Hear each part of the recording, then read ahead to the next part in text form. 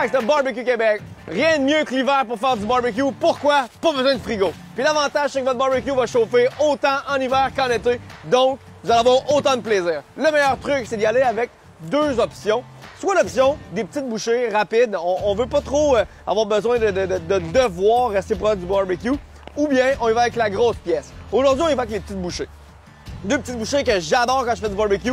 On va parler de cake pop, entre parenthèses, euh, les suçons là, de sucre généralement. Là, il va avec de la viande directement, donc des petites bouchées de, steak haché. Tu peux mélanger ça directement avec du bacon ou faire un genre d'hybride du temps des fêtes. On va prendre le steak haché, on va l'entourer de bacon qu'on va mettre sur le barbecue. Et on va aussi avoir des hautes cuisses de poulet parce que sérieusement, les cuisses de poulet, c'est beau, bon et pas cher. Donc quand vous avez beaucoup de monde qui sont à la maison, vous allez toujours avoir un franc succès avec ça. On va se tenir dans les 300-350.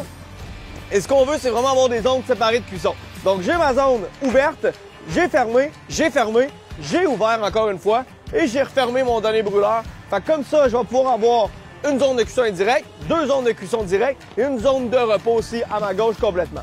L'avantage d'avoir un gros barbecue. Sinon, ce que je vais toujours euh, recommander, c'est d'avoir les extrémités ouvertes, le centre fermé. Première chose à faire, vous allez faire cuire votre bacon à l'avance. Une fois que votre bacon est flexible, on va le mettre en repos. Ce que j'aime bien faire pour le, les boulettes, c'est que je vais les cuire en indirect pour commencer, mais à une chaleur quand même assez forte.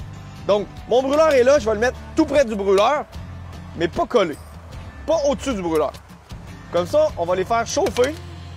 Ils vont la chaleur va avoir le temps de pogner jusqu'au centre. Donc pour les hautes cuisses de poulet, on va vraiment aller en indirect. Donc on va les mettre au-dessus des deux brûleurs qui sont fermés. On aurait pu les mettre sur la grille du haut aussi.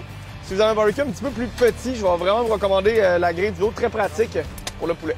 Donc une fois que vos aliments sont bien disposés, on va fermer le couvercle. Le bacon est en repos. Nos pièces de viande sont en train de cuire ici lentement, plus rapide là un peu. Bien entendu, on va manger les cake en premier, on va manger le poulet ensuite. Donc c'est parti, on ferme le couvercle, on laisse ça aller. Donc, en milieu de cuisson, vous allez utiliser votre sauce préférée. Moi, j'utilise la sauce expresso parce qu'elle est vraiment géniale pour faire caraméliser les boulettes de bœuf et aussi excellente sur le poulet pour caraméliser.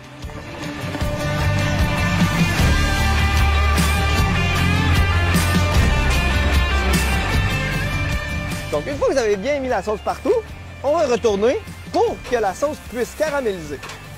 Donc, une fois que c'est prêt, super simple, on a une belle petite boulette, un petit morceau de bacon, un petit cure-dent, ou si vous êtes un peu fancy, même chose pour le poulet. Donc, vous prenez un beau petit cure-dent comme ça, vous y allez ça, très simple, mais on va quand même faire un, un, style un peu fancy, style kebab un peu. Ça vous fait des belles petites bouchées, c'est bon, c'est délicieux. Tout le monde aime ça. Donc, pour plus de recettes, plus de techniques et surtout plus de barbecue, visitez barbecuequebec.com.